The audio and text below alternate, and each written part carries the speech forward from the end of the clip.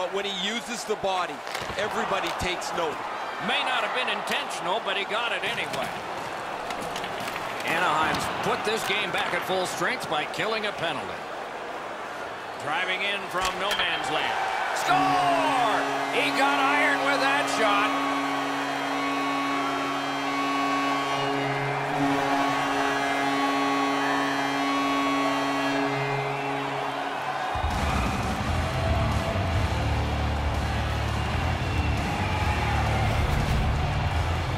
Always better to play from in front than to chase the game. There's the game's first goal.